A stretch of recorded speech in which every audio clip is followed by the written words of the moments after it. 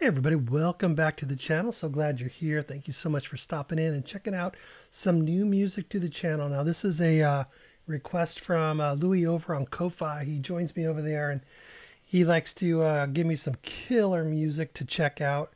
And I'm hoping this is going to be more of that. Um, he's been batting a thousand so far, so I'm looking forward to it.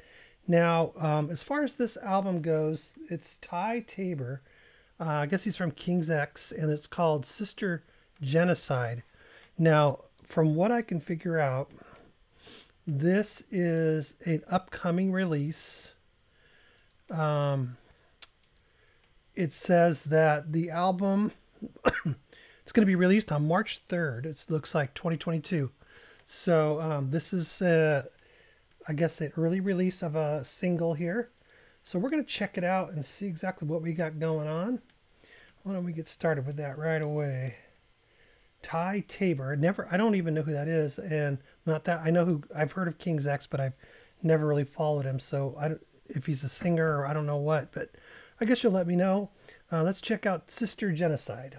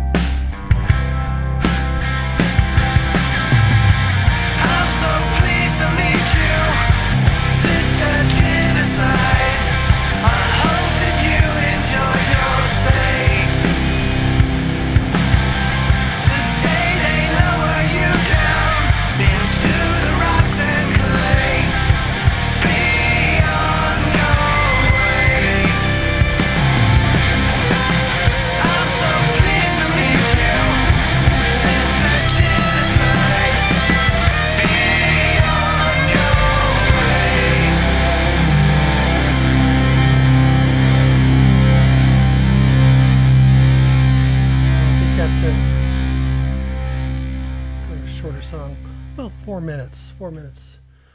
Yeah, that was cool.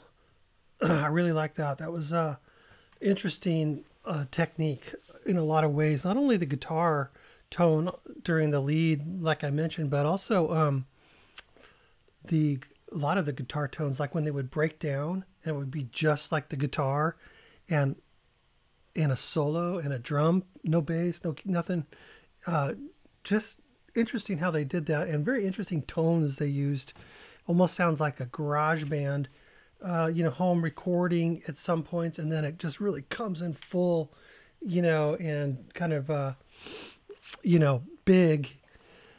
Uh, uh musically speaking, uh, lyrically, that's a whole other thing, and I don't, I, I see what the song was about. I get it, but um, musically it was cool. I liked the different I liked the production technique of it. I mean, let's not get away from the fact that did sound like uh, vocally a little bit like Steven Wilson. Um, in some in, in not only the the effects but the tone and the the melody sort of you know just gave a real Steve Wilson vibe maybe that's what he was going for. Not a bad thing to aim for, in my opinion. I liked it. So I thought it sounded great. I thought he did a great job. Uh, now, it's mentioned King's X, so I don't know. Ty, is he the uh, singer for King's X or, or the guitar player? I don't know. Uh, could be, could be right. A very guitar oriented song, frankly, uh, with several different guitars uh, going on there, which was great. I really liked those breakdowns, the way he did that. It was so uh, kind of unexpected, but also just different, you know, to me, the way he did that. So that was a fun part of the song as well. But, uh, you know, just kind of a real simple, uh, a real simple couple of chord song, you know, for the most part. But the way he layered it was just really really interesting i thought. And at one point towards the middle there was kind of a, in a heavier part. I really liked that guitar um, you know the guitar distorted guitar rhythm you know lines that he was doing the progressions were really cool. I thought they were very uh, you know simple simple moves simple chords but in contrast to what else was going on. It really, because it was a slower, methodical song, basic rhythm, throwing in some of these chord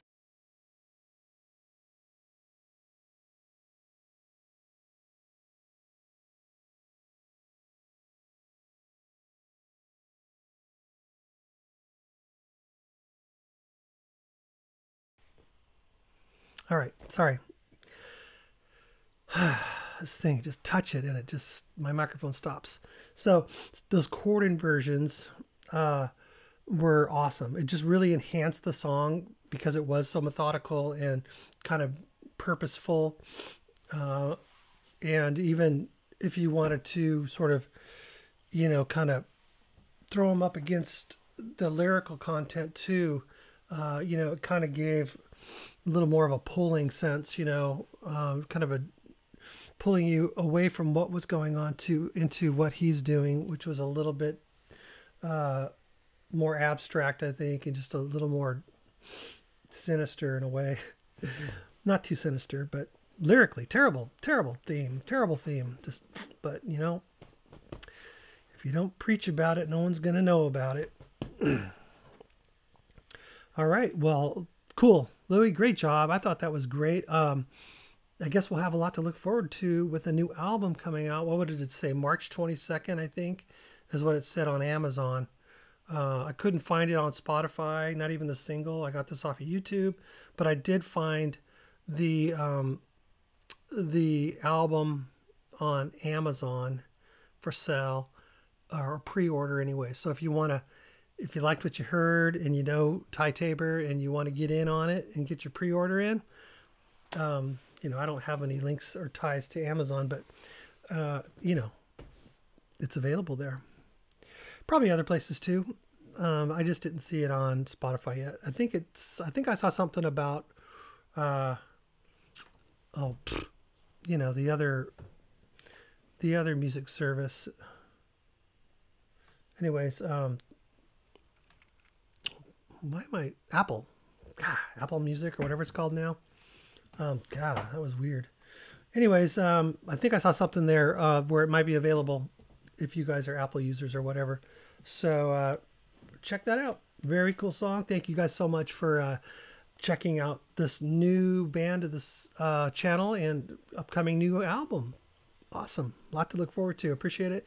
We'll see you guys down in the comments. Let me know what you think or what you know about Ty because uh, uh, it would really help out as far as my knowledge goes, especially if we move forward with more of this music. You know, I'd really like to learn more about these guys. And if you guys are knowledgeable about them, I'd love to hear what you have to say.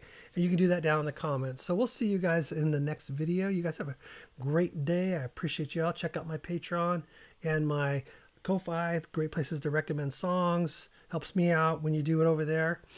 And I really am thankful for Louis and uh, his support over there. Another great pick. I must say, you know, another great pick. All right, guys, we'll talk to you later. Bye bye.